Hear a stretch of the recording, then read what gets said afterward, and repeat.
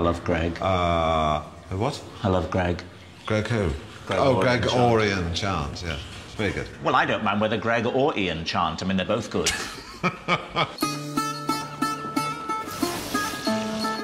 Service! this is the fourth time we've been on one of these little jaunts.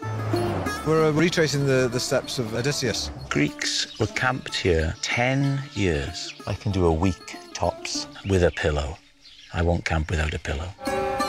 It's a shame we're getting the ferry. I would like to stay in the Hotel Lesbian. Come, come, Mr. Bond. You like staying in the Hotel Lesbian just as much as I do. If I can get my head down in the Lesbian, I'm more than happy.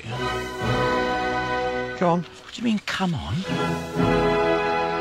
Oh, that's convenient.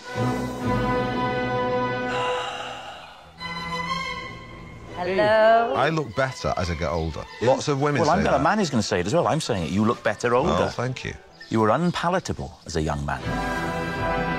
We've not got much time left. You're going to miss me. It can be exhausting. Good God, you should meet you.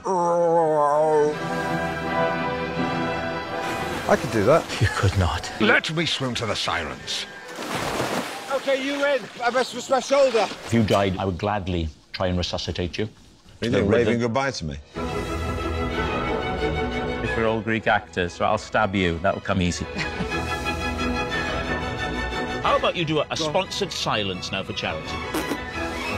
For 97 minutes, you forget what a self-regarding arse Coogan is in real life. My takeaway from that is he thinks I'm a brilliant actor. That's what you take away from Yeah. it. Yeah, yeah, yeah, yeah, yeah. yeah.